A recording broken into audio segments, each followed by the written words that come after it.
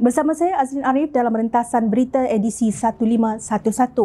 Antara paparan utama.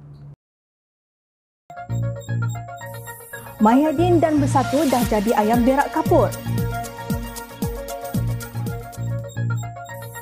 Persempadanan semula, kenapa gabra sangat? Antara yang mengambil dan diambil kesempatan.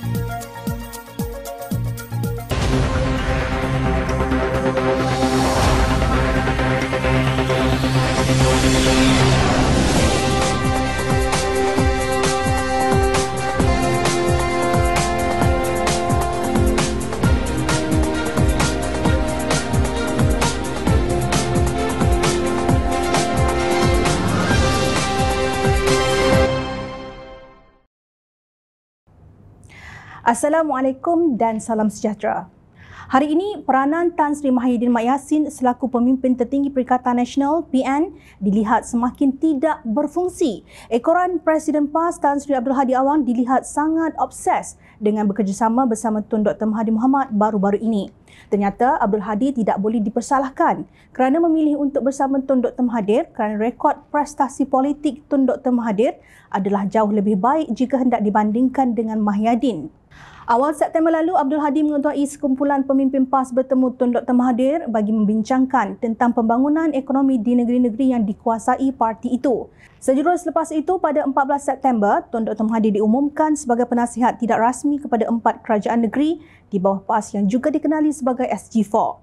Pertemuan itu mengejutkan ramai pemerhati politik kerana tiada siapa menyangka Abdul Hadi mempunyai pandangan politik yang jauh ada pihak yang melihat bahawa Mahyadin sepatutnya meletakkan jawatan sebagai pengurusi PN apabila menyepikan diri berbanding sekutu mereka PAS yang bertungkus lumus membangkitkan isu-isu semasa sebagai pembangkang.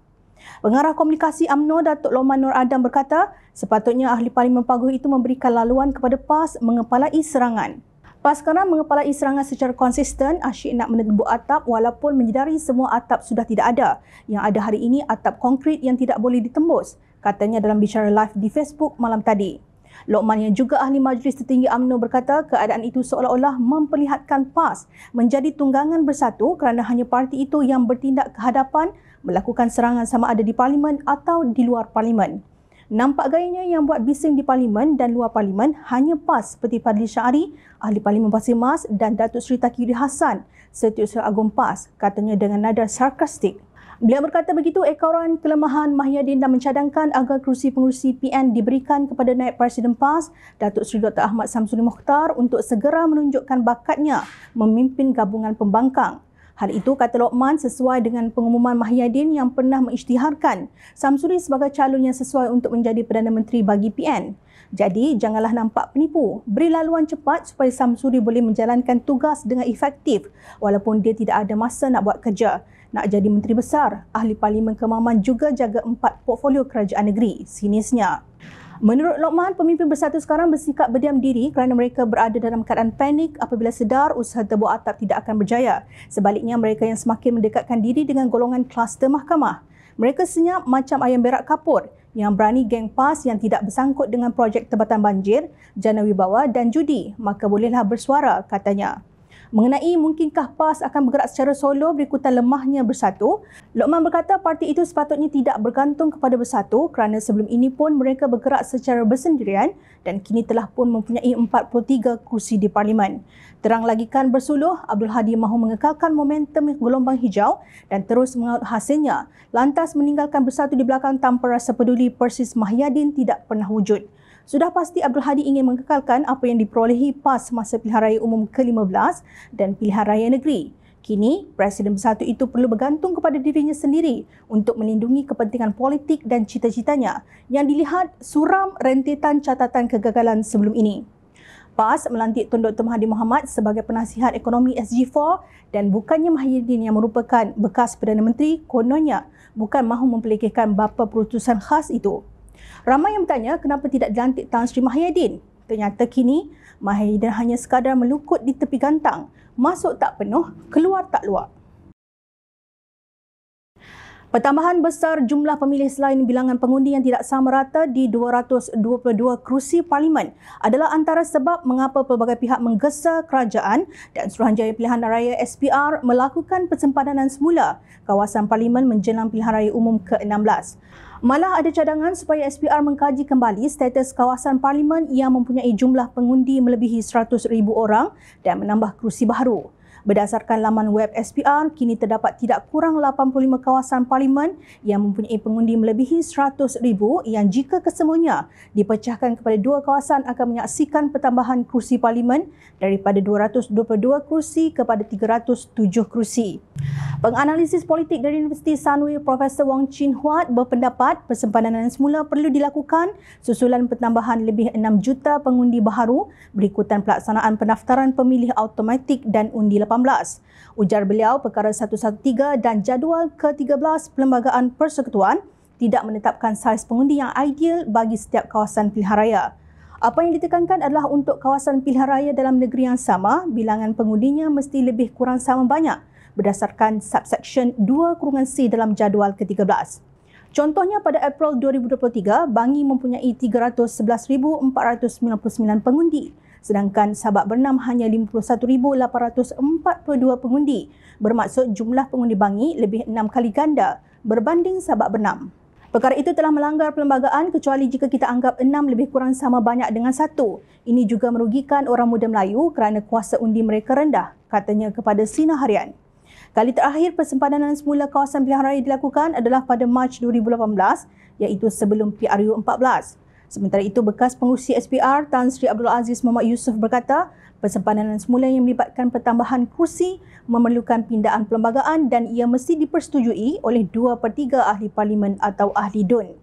Kalau kawasan itu terlalu besar atau terlalu ramai pengundi, pertambahan kursi boleh dicadangkan sama ada peringkat parlimen atau DUN. Bila ia berlaku, perlu ada pindaan perlembagaan dan mesti mendapat kelulusan 2 per 3 wakil rakyat. Kalau dibuat tambahan kerusi dan bawa dalam persidangan parlimen atau DUN tetapi tidak dipersetujui maka tiada guna juga, ujarnya. Sebelum ini, bekas Timbalan Menteri di Jabatan Perdana Menteri Undang-Undang dan Reformasi Institusi Ramkar Pal Singh memaklumkan proses persempadanan semula di Sarawak sudah bermula tahun ini membabitkan kajian oleh SPR dalam tempoh dua tahun. Selain itu, katanya proses persempadanan semula kawasan pilihan raya di Sabah akan bermula 2025 manakala di Semenanjung dijadualkan pada 2026. Namun begitu pembangkang kelihatannya sedikit skeptikal.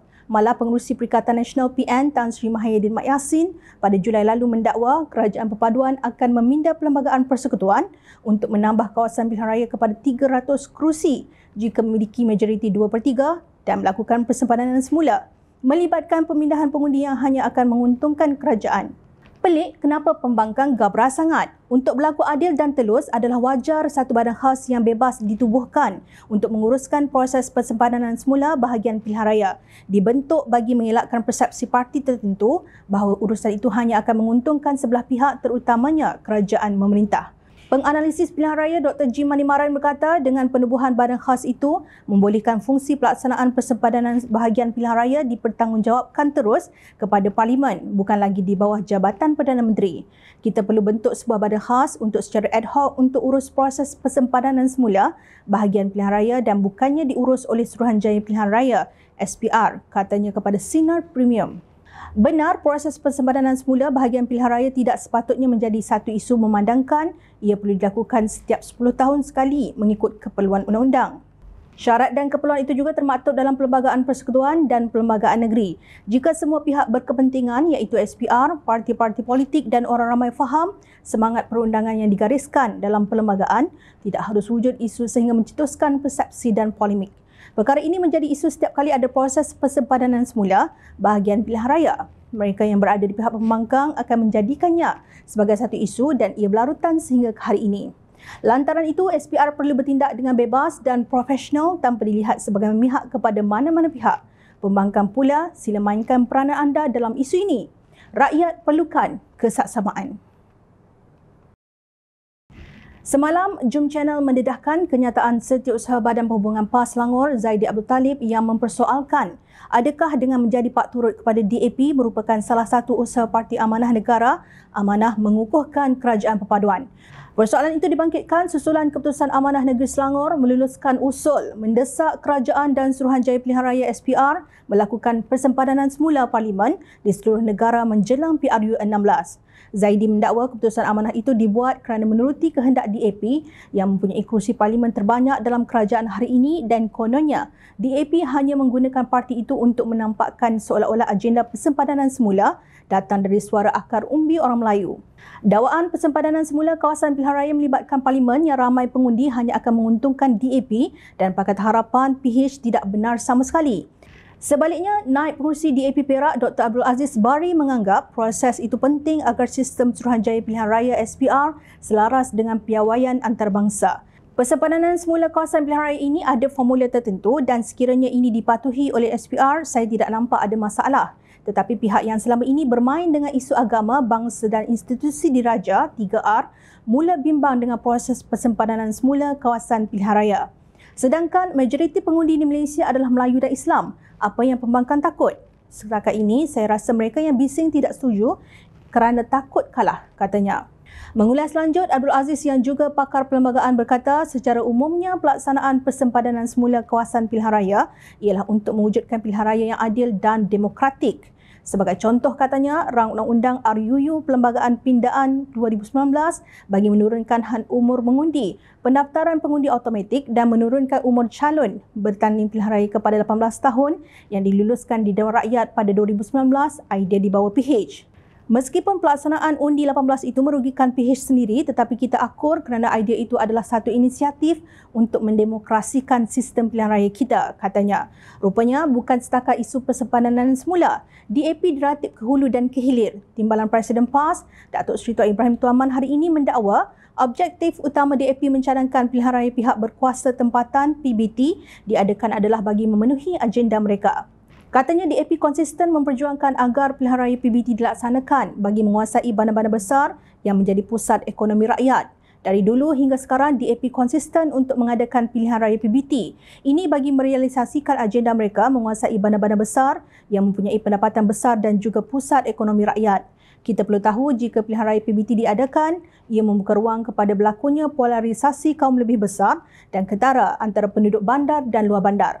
Ia bukan hanya melibatkan penguasaan terhadap hasil-hasil ekonomi sesebuah bandar yang tidak seimbang, malahan juga kuasa politik Melayu Islam akan terhakis.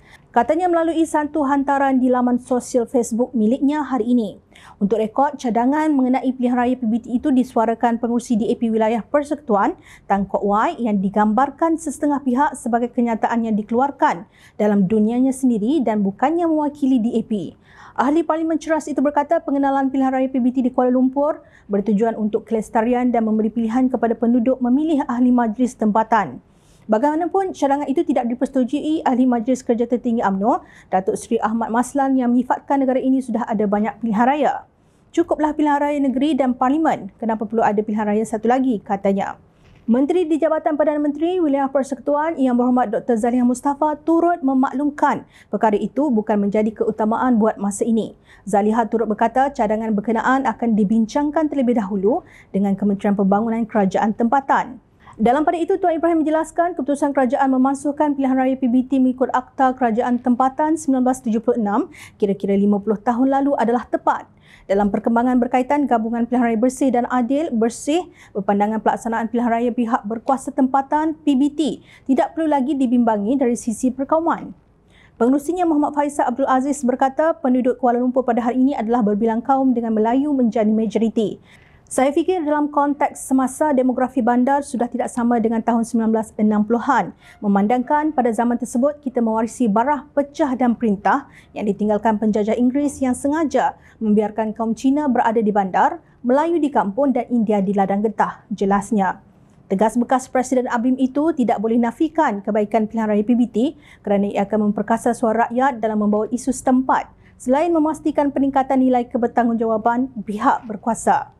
Ia juga secara tidak langsung akan meringankan kerja ahli parlimen dan adun yang sebelum ini terpaksa menyelesaikan semua isu setempat melibatkan sampah sarap, longkang tersumbat dan sebagainya. Sedangkan tugas mereka adalah untuk menggubal serta menyemak undang-undang dan dasar penting negara. Untuk makluman, terdapat 151 pihak berkuasa tempatan PBT di seluruh negara dengan 19 daripadanya berstatus Majlis Bandaraya atau Dewan Bandaraya. Yang mana satukah pendapat yang konkret dan betul? Siapakah yang bakal mengambil kesempatan dan siapa pula yang bakal diambil kesempatan? Usah dibincangkan isu ini mengikut kefahaman perkauman namun keputusan yang holistik mewakili setiap lapisan masyarakat perlu diambil kira tanpa mencarikan fabrik keharmonian dan kesejahteraan pelbagai bangsa dan agama di negara yang berdaulat ini. Keputusan yang bijak perlu dibuat dan bukannya bertikam lidah yang tiada berkesudahan. Bijak pandai pimpinan diperlukan untuk menyelesaikannya demi rakyat yang tidak pernah mempedulikan kesenangan dan kuasa untuk mana-mana pihak. Jaga keharmonian kaum, pelihara keindahannya. Jika sesuatu keputusan itu membawa lebih banyak keburukan, hentikan. Namun, jika ianya membawa lebih banyak kebaikan kepada rakyat, teruskan. Ingat, rakyat sentiasa memahati. Jom Channel ingin mengucapkan jutaan terima kasih kepada para penyokong Jom Channel dan kepada yang berminat untuk memberikan sumbangan bagi membolehkan kami meneruskan perjuangan menyampaikan berita yang benar. Sumbangan boleh dibuat melalui akaun bank yang tertera. Suara rakyat kami sampaikan demi negara tercinta. Teruskan bersama kami di Jom Channel untuk mendapatkan berita politik tanah air. Saya Azin Arif, terima kasih. Assalamualaikum dan salam sejahtera.